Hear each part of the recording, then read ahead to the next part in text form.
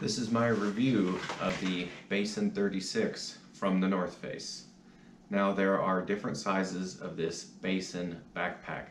This is the largest at 36 liters. The most considerable noticeable difference is these pockets here on the side. If you get one of the smaller versions, obviously it won't have as much capacity, but it also won't have these side pockets here and also this belt that connects as well. So each one of these has a pocket that does have a good amount of storage. It's pretty deep, actually, probably three and a half inches deep, I would say, and it's probably a good eight inches wide. So you can put quite a bit of different stuff in there. I put my keys in one with my chapstick, and then also on here I have a flashlight and a multi-tool, typically. Now, on the front of it, there's only two main pockets. There's this small pocket here, which this is my biggest complaint, is how tiny it is, and it only has one zipper, and it only goes one direction. So you can see that it's only four or five inches deep. It does have a thing that you can attach your keys to. But if I were to make an improved version of this, this is something I would definitely change. It does have a large main compartment. It does have one little extra pouch here, but it's not padded or anything like on the other, like a school North Face backpack would be padded back here. It's not the case in this one. But it is pretty deep down in there. You can get a lot of stuff in there. That's why I bought this for day hikes and if I wanted to use it for, say, traveling a little bit, this was a good backpack to have because you can fit a lot of different stuff in here. Now, on the back is where you put the bladder, right here. But the thing that I don't like is that there's no way to attach the bladder to say to one of the shoulder straps to keep it from flailing around. This mesh piece here, it doesn't open up on the bottom and then there's another little opening here. And my bladder tube won't fit through that. So it's kind of a poor design in my opinion. Now it does have one of these little straps right here that I use to hook a uh, knife on so that I have it on my shoulder so I can use it as I need. It does have the chest connecting straps so you can pull it tight. It does also have adjustable straps here on the shoulders which I really like because you can pull this tight and it'll get tighter this way here on your shoulders. So it does have a lot of ability to be comfort fit to how you like to carry your backpack and depending on how much weight that you have. It does have a rain fly which is down here. Now this button that you can see isn't buttoned, I just buttoned it before I started this, is really terrible. That it is very weak and it doesn't stay buttoned very easily. So it's really flimsy. It doesn't take much strength to undo this button. This needs to be improved also in my opinion. It does have one roll of vertical MOLLE, which I also think is lackluster. It should be the other way and there should be multiple rows. Or if you have it vertical, there should be multiple rows. It does have like a kangaroo pocket here where you can also tighten whatever you have in there with these straps here. Or you can use them to say secure something, also pull it tight this way. Below the rain fly, there's also two straps with clips that you can say put your sleeping roll or a sleeping bag and cinch it tight. Now when you undo the rain fly, there's these red tabs on the back and on the sides, right here, right here, and on the other side. That's where the rain fly attaches to. Now I did use this while it was raining and it did work really well and it kept everything in the backpack dry. This is what I like about this backpack more than my CamelBak backpack that I have. That's even more deluxe than this that I would use for say overnight camping and that you can put anything and everything in. It just doesn't have a rain fly, but this does, so it'll keep all your gear and stuff nice and dry. It does have a carrying handle. It has this little clip here to, I don't even know what this is for either. I don't know what purpose this serves. I have no idea.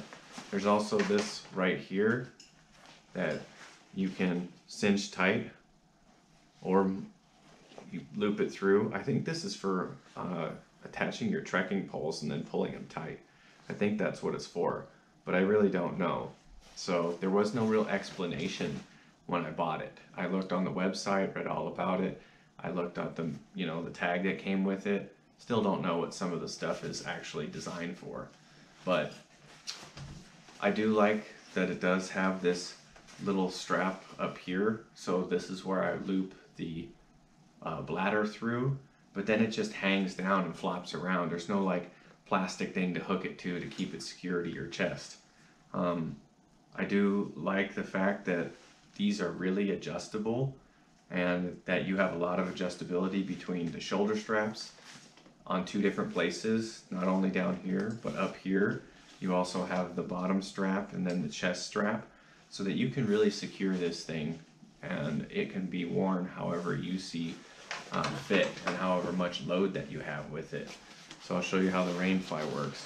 It's so easy to take that apart. That button is really, really too flimsy.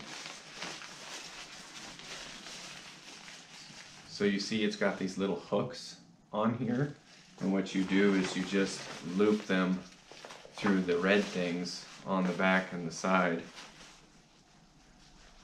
Just do one to show you. So you see it loops through right there and then you do the ones on the side and it pulls it tight so that you have the rain fly and it covers a good majority of the pack and it's easy to roll up under there once you're done using it but that button that secures the little flap that keeps it closed is pretty much useless and it's always undone. I always find myself snapping it back on there and then when I go to grab the bag the next time it's already undone. So it's a really minor thing but it is quite annoying and it is uh, poor design. I think also that the lack of MOLLE here is a real poor design, only one row and going vertical instead of multiple each one direction or the other. One row is kind of useless in my opinion. Um, the carry handle could be a lot bulkier. It's really thin and kind of flimsy looking. Um, the shoulder straps are nice and thick and they do have some of that breathable material to them. Same with the back, it's breathable material too. So you know when you're hiking and you're sweating in it, you know one of the worst things is when you take your backpack off and then you put it back on and you're all sweaty and you put it against your sweaty back. But it does dry out really well. Um, there is a few things that I would change, but it does also have these side pockets here for say water or whatever else. I usually put my gloves or my hat in there um, easy access to get to. I would change the depth of this pocket and make it bigger. Um, I would add more MOLLE and I would make this button more than a little uh, durable than what it is right now. It's pretty flimsy. But other than that, this is a good design. It just could be improved upon. And I'm kind of so-so on these. Um, I do like the extra storage, but I don't really know if it's necessary. I do like the cinching straps to keep it nice and tight and to equally distribute the load, I would call it. But these are only necessity pockets because this pocket here is so small and lacking, I would say. But overall, for the price and the features and how much I've used it already, I would say it's worth it.